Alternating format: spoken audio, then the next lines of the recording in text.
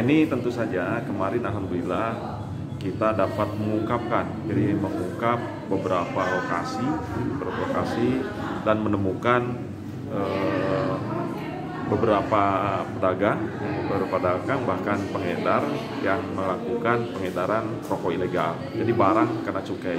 ya. Yang sudah kita lakukan itu jumlahnya dalam tiga kali operasi itu sekitar 2 juta sembilan puluh ribu lah. Itu yang itu dan yang terakhir kemarin itu bisa mencapai sekitar 700 ribu. Jadi kalau dijumlah ya hampir 2,9 juta.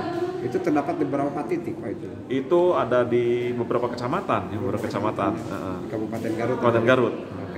Dan yang sangat disayangkannya waktu kita temukan di salah satu kecamatan itu eh, akan diedarkan juga ke luar Kabupaten Garut khususnya di daerah Cianjur. Tapi dapat digagalkannya di Garut ya. Dapat ditangkapnya di Garut. Padahal itu barang untuk ke Cianjur. Ada himbauan Pak ini untuk? Ya tentu saja kita himbauannya kepada masyarakat.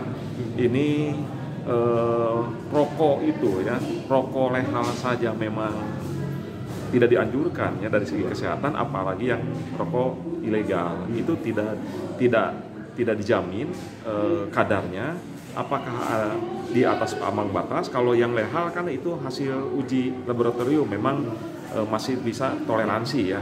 Jadi eh, masih ada dalam ambang batas. Sedangkan ini rokok ilegal itu di luar di luar di luar mungkin saja itu eh, kadar nikotinnya atau zat berbahayanya yang terkandung di dalamnya tidak diketahui, ya, tidak diketahui. Itu bisa sangat-sangat merugikan merugikan kesehatan. Sekali lagi, rokok yang legal saja kita hindari untuk kesehatan, apalagi yang tidak legal.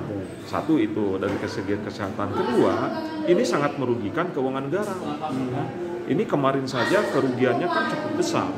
Ya, di atas satu miliar kan dari cukai itu kalau misalnya itu terpungut oleh negara tentu saja ini kan bisa untuk pembangunan juga. Jadi dari segi keuangan negara tentu saja ini sangat dirugikan